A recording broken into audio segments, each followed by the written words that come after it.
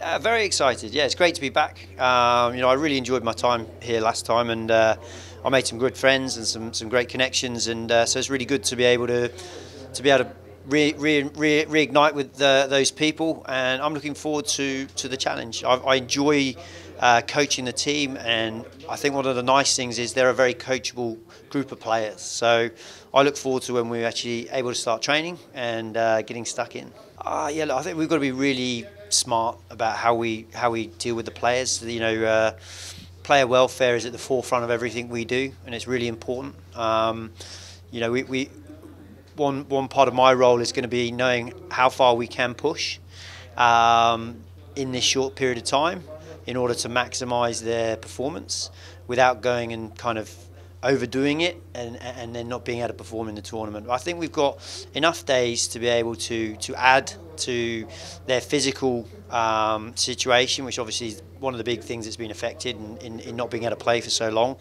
Um, and then in terms of the skill and the actual team itself, my, my big focus is just going to be bonding the team and, and really creating a team and, and harnessing the culture within sport in Sri Lanka and, and with the players so that, you know, I think if we do that, we have a good work ethic, we'll go in and we'll, we'll, we'll, we'll, we'll, we'll work hard during the tournament. Look, uh, in, in terms of it's obviously for this this, this short period now, um, but I'm sure we'll talk and stay connected, and those conversations will happen, and we'll see we'll see what happens.